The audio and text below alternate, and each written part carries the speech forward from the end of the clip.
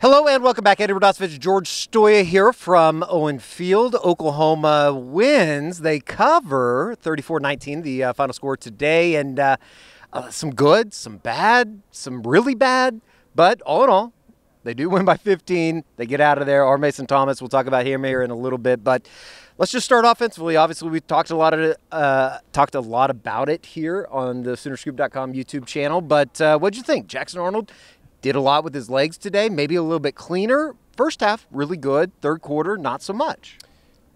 I think that uh, Jackson played pretty good. I mean, other than the the pick six, I thought that he made a lot of really good plays. Um, he was really good in the RPO game today. They took away some of the RPO stuff today, which I thought was interesting. Did some zone read, knew when to keep it, had the big you know 47 yard run. And then the play at the end of the game, uh, that's just a that's just a kid making a play, um, you know, scrambling on third and 11, uh, going and scoring a touchdown, and what ended up really kind of being the game sealing score. So, um, you know, I, I, thought he played okay. I thought he, you know, look, the passing game just isn't there right now. Um, I think a large part of that is they just don't have the playmakers at receiver. Teams are daring them to run the football. They ran the ball well in the first half. Look, Eddie, if they if they play like they did offensively in the first half, and what they did defensively, other than the last the final drive this is a team that can win a lot of football games. Uh, they, they controlled the clock. They went on long long drives. They ran the football well. They were running you know th- third and short. Um, you know it, it, was it was an offense that you're like okay like maybe they they've got something here and then they regressed in the second half. You know Brent talked about it. Even the opening drive of the second half I thought was a good drive. Stalls and they have to kick a field goal, but you know, you go up, uh, what was that, 24 to 6 at that point. You're right. feeling, still feeling really good about what you're doing. But, uh, I think that it's getting rid of those those three and outs, those quick possessions that uh, you got nothing going. You're not running the clock very much. I thought that the the time management, clock management wasn't great uh, tonight. Obviously, the delay of game penalty on the the field goal try as well. But uh, look, I think the offense took took the right step. And what I say last week, I said, hey, look, if the offense can score around 30 to 40 points you're going to win a lot of football games. And that was the case. I thought the defense played great for the most part, other than two drives um, which you know they got they got some bad breaks on on some penalty calls too as well on those. But um, I think overall, you get away with the win, Eddie, and uh, you feel a little bit better maybe going into Tennessee. I know that it's going to be a tough challenge for Oklahoma. I'm not picking them to win that game, but uh, I think that they got a lot of issues up front. But you still, you know, you feel a little better. I think a you little do. better. You, you do feel a little bit better. Jackson Arnold, 18 to 29, 169 yards, had the one interception, the pick six there in the third quarter that really made things kind of tight. Oh yeah. Uh, let's talk Oklahoma rush game though. They they did run the ball well today. 182 yards on the ground, 214 overall. Obviously, get how some of that. that uh, how much of those rushing yards was Jackson Arnold? Jackson Arnold ended up with 14 carries for 97 yards. He ended up with 118 gain, net 97, two touchdowns. They did a lot, though, through the run game. I thought that if you're going to say anything about this offense, it felt like they took a little bit of a step. And did that coincide with Heath Ozaeta playing a lot today at left guard? They moved uh, Jacob Sexton out. What do you think just overall from a uh, offensive line standpoint and kind of marrying that with the run game? Yeah, I thought they ran the ball a little better. They definitely had a, a, few more explosive runs, and I think part of that was the quarterback run game really opened some things up. They ran some stuff in the quarterback run game that we just haven't seen yet from Oklahoma. And Seth Littrell said after the game, said, "Look, I didn't want to, you know, get, go into my bag that far yet and, and run the quarterback as much as we did today. We were going to at some point this season, but the way the offense is operating right now, you absolutely have to, you know, pull out, you know, basically find anything that you can find success right. with. And uh, right now, that's the quarterback run game. And so uh, I thought that Jackson did a really good job with that. Uh, I thought the offensive line blocked those type of plays really well. They still can't get some things going with the running backs. Yeah. Um, I don't know if that's running backs not seeing the whole. Like Gavin Sawchuk still really hasn't done a whole lot.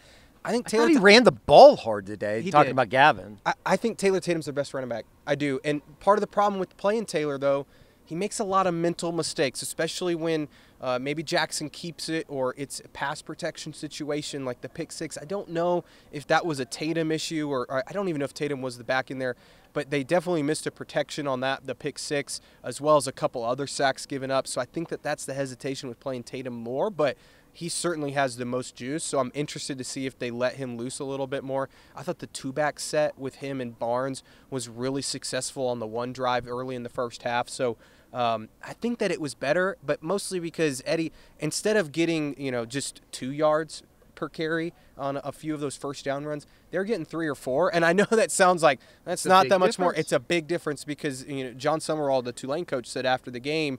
Uh, that you know Oklahoma early in the game was putting them in you know third and short, and he yeah. goes, I don't have any call on defense to stop what they're doing on third and short, and so Oklahoma has to continue to get into those situations instead of the ones where late in the game they're they're, facing third and 10, third and 11, uh, and it's going to be really hard for them to convert those. Defensively, uh, you did speak with, or you went into the uh, Jon Sumrall press conference. I know that he was very complimentary of Oklahoma defensively. We had talked about, uh, you know, here on the YouTube show as well as, uh, you know, I think everywhere else, the podcast and everything the defense was going to be tested. This was a Tulane team that uh, Darian Mensah had kind of come out of nowhere as a starting quarterback.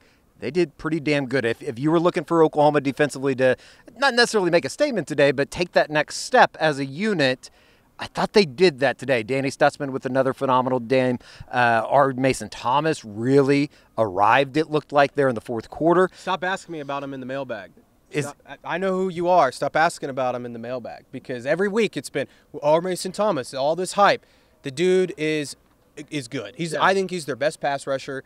He's been so close and he finally got there today and he he took over the game. Yeah. And and I know the game was you know, maybe not totally out of reach. I mean, there's 6 minutes left and it's a, still a two-score game and he just took over that one defensive series. Then he gets the strip sack at the end of the game. I mean, the guy's a monster. And when you can have somebody on the edge that you don't have to bring in extra sure. pressure to get to the quarterback, you have a guy that can just go get him. Uh, it makes a huge difference, and they, they need him to play like that next week. What do you think of just in terms of overall defensively today? They had a couple lapses there at the yep. end of the first half. It's happened two weeks in a row, but outside of that, another day in which you know even with throughout the struggles there in the third quarter and the fourth quarter at the beginning, uh, offensively it just felt like this is a defense you can run out there now, and it's like everything's going to be okay. They're really good against the run. Uh, really, really good against the run. I know that Tulane runs some some interesting run concepts. They're really good at the outside zone blocking, and they got Oklahoma a few times on some you know uh, big runs, but they were really, really solid there. They made that young quarterback have to throw the ball and move around in the pocket. Um, and, and, they, you know, it was interesting, Eddie. It felt like they were getting so close to sacking him in the first half and even in the third quarter, and they just couldn't get there. And then they finally him down and got there, uh, you know, in, in, the fourth quarter. And the, they were running some interesting. I don't know if you noticed it. They were running some interesting formations on the obvious passing downs where you know you've got R. Mason Thomas, Trace Ford, PJ Adebawore, and Gracen Halton all up there. Danny Stutsman walks up and they're bringing him. They're bringing everybody, and it's it's it's an interesting group. And I wonder if that's something that can throw some defenses off. But uh, had some trouble on the, the long crossing routes. That's going to happen. You know, I thought with Kendel Dolby out today, some of the communication with the cheetah wasn't always as sound as they probably would like. Uh, Woody Washington played there a lot today. Samuel Omosigho, Jaren Kanak came in and played some cheetah as well. Um, and so I think you want to you want to clean up some of that communication um, at that cheetah spot. But I, I, think Kendel Dolby will be back next sure. week. Um, you know, he's dealing with a concussion. I know Brent said after the game they were hopeful he was maybe going to get to go today didn't get to go. So uh, I think that that that'll clean itself up. But yeah, this defense is for real. Now, are they an elite defense that they're going to hold Tennessee next week to 19 points? No. Probably not. But uh, I do think they can keep you in the game, and, and they continue to create turnovers in big moments. Sure. Uh, you know, the, the play today, Kani Walker tips it Kobie McKinzie tips it. Billy Bowman ends up with the interception that obviously goes on to set up the the you know game sealing touchdown from Jackson Arnold a few plays later. So uh, you love that from your defense, right? They're coming up with the big plays when they absolutely have to have it, and I get it. Uh, you know, everybody said that against Temple and Houston doesn't matter. Those teams aren't any good. Tulane's a good football team. Yeah. Uh, that's a good offense. They've got a lot of really good playmakers. They held Mario Williams in check today. Uh, Makhi Hughes didn't really do a whole lot in the running game for him. And that young quarterback, I, I, I think that they forced him into some bad mistakes. So now we turn to uh, one of the big ones. I mean, obviously, I think ESPN Game Day is going to be here next yep. week. The eyes of the college football world as Oklahoma enters the SEC for real now.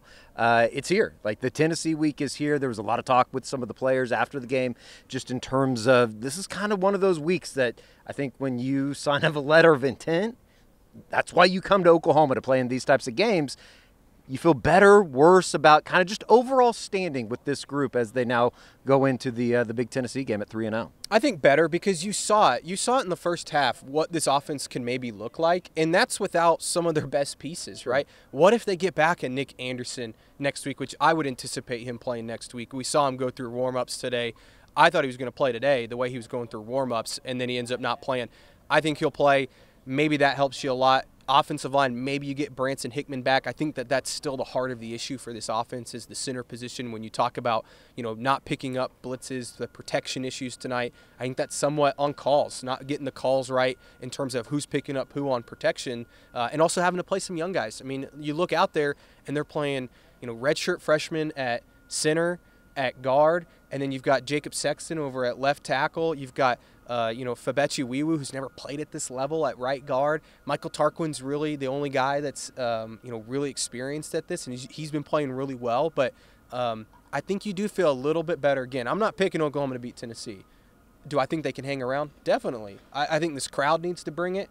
I'm not going to call anybody out today. It was hot. It was hot as hell. I don't blame anybody. It was 21 to nothing at one point. I don't blame anybody for leaving, especially the students. Go get your drink on. I don't blame you.